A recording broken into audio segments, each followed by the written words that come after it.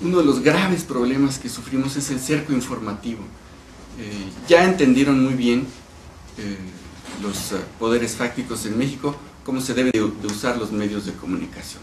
Están copiando el modelo gringo que se viene aplicando desde hace mucho y funciona muy bien, porque de veras que la sociedad, la sociedad gringa sí que es mansita y sí que se puede manipular sin problemas. Y a eso van, y por eso, por eso prendieron las campañas de odio, porque, porque están copiando ese modelo y porque hay mucha gente que le hace caso a la televisión todavía. Eh, por eso insisto en que sin educación no hay manera de salir. Este, mientras la gente no tenga, mediante la educación, la capacidad de formarse un criterio propio a partir del cual poder filtrar y enjuiciar las cosas que recibe a través de los medios de comunicación, simple y sencillamente no hay posibilidad de avanzar. Mientras la gente asuma pasivamente lo que se le dice a través de la tele y de la radio, estamos fregados, no hay manera de salir. mientras la gente esté viendo su reloj para ir a ver la, telenovela, estamos mal. Este, si la gente cree que la academia es una fábrica de artistas y es una expresión de arte, estamos fregados. Este, y creo que la educación es la única manera en que se le puede dar a la gente la posibilidad de valorar lo que ve en la pantalla y decidir, si lo veo, lo veo para divertirme, pero no para que, para que me, que me digan qué hacer, o le apago y mejor abro un libro o hago cualquier otra cosa. Por eso es que yo creo que la educación es fundamental. Eh, y yo creo que eh, si la sociedad o si diversos sectores de la sociedad se organizan eh, para resistir a la derecha triunfante, ese debe de ser el eje central. Por eso está muy bien que, por ejemplo, existe este grupo de, universitarios. me parece muy bien. Eh, y me parece que eso debería de ser el tema central de, su, actividad y de sus discusiones y de, sus planes, etc. Ah, perdón, nada más para terminar, esto lo menciono porque eh, no sé bien qué piense hacer López Obrador con su gobierno alterno, pero desde luego con el la ofensiva informativa, el cerco informativo alrededor eh, eh, va a estar muy copado.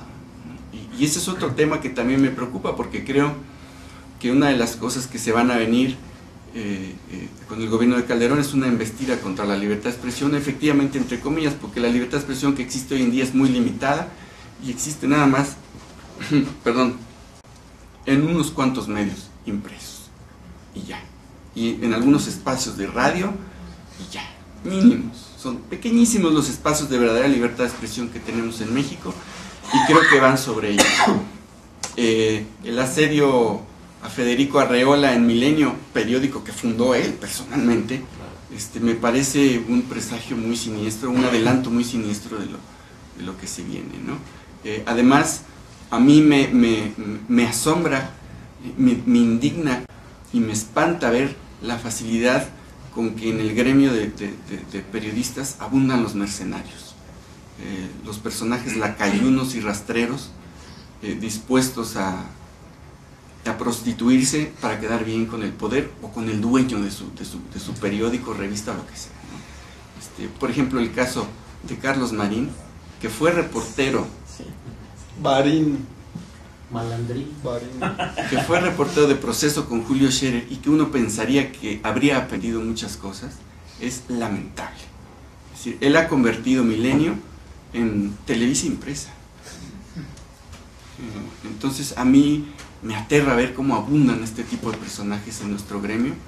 Vamos, hasta entre los caricaturistas se ve.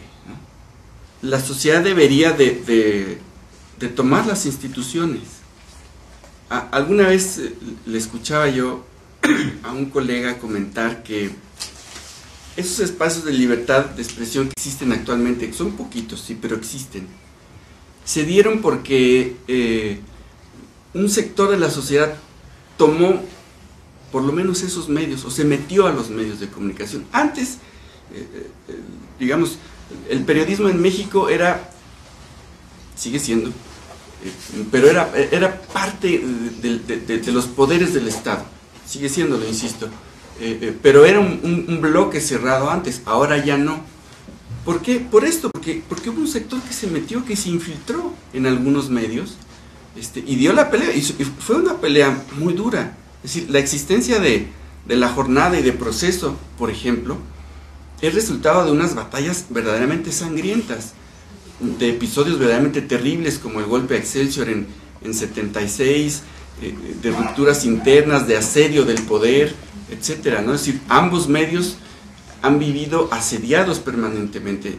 Ahorita proceso está siendo este, demandada, demandado por, por la primera dama y está perdiendo casualmente porque pues, hay un juez ahí que, que está dispuesto a, a hacer méritos.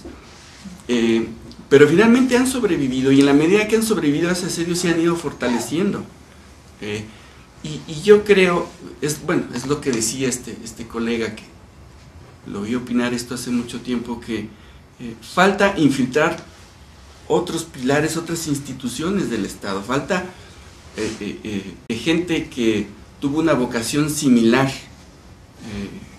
al grupo de periodistas que participaron en Excelsior, en la Fundación de Proceso, en la jornada, etcétera, se infiltra en el Poder Judicial, gente que quiera, que tenga la vocación de ser juez, pero para ser un juez correcto y honesto, este, eh, o para ser magistrado y, realmente aplicar la ley en serio, es decir, eh, falta que, que, que, tal vez es utópico, pero que haya un grupo de abogados que, se salga de ese, de ese eh, esa definición general de los abogados que, dice que son todos unos platanitos porque todos están chuecos. Bueno, tiene que haber tres o cuatro que sean derechos y que estén dispuestos a entrar a la estructura del Poder Judicial y hacer su trabajo con dignidad. Es decir, creo que debemos de entrar a las instituciones, no quedarnos afuera echando piedras, eh, como fue lo que pasó con el periodismo. El periodismo sigue siendo una nata de corrupción y, y de mercenarios, sigue siendo lo que era en buena medida, como dije, pero sí es cierto que, se, que, hubo una fractura y que hay una manera de hacer periodismo distinta en México y que ha sido fundamental.